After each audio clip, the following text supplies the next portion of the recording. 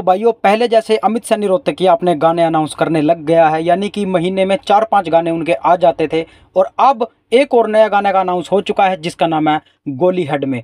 गाने दो पेंडिंग हैं, उसके बाद भी एक नया गाना अनाउंस हो चुका है, जो कि टी सीरीज़ के द्वारा प्रेजेंट किया गया है और टी सीरीज़ के ऑफिशियल यूट्यूब चैनल पे देखने को मिलेगा। स्टार्टिंग की बात करूँ तो अमित सैनी रोहतकिया के साथ में मीनाक्षी शर्मा जो है मेन लीड में नज़र आएँगी। सिंगर म्यूज़िक लिरिक्स तीनों के तीनों काम अमित सैनी रोहतकिया ने किए हैं। डायरेक्टर हर बार की तरह जीतू जी है और गाने को जो बनाया है वो शुभम गंभीर के द्वारा गया है। अब गाने की रिलीजिंग डेट कोई भी अनाउंस नहीं की गई है तो गाना कमिंग सून रखा गया है, लेकिन गाने की उम्मीद की जा रही है 9 से लेके 10 जून के बीच बीच में देखने को मिल जाएगा। अभी गाने की कोई लाइन भी अनाउंस नहीं की है, अभी बता भी नहीं सकते कि गाना कैसा होने वाला है, लेकिन गाना बदमाशी टाइप आप लोग को देखने को मिलेगा। और जब भी ये गाना आ जाएगा लिंक नीचे डिस्क्रिप्शन में डाल दूँगा, जाके ज़रूर देख लेना।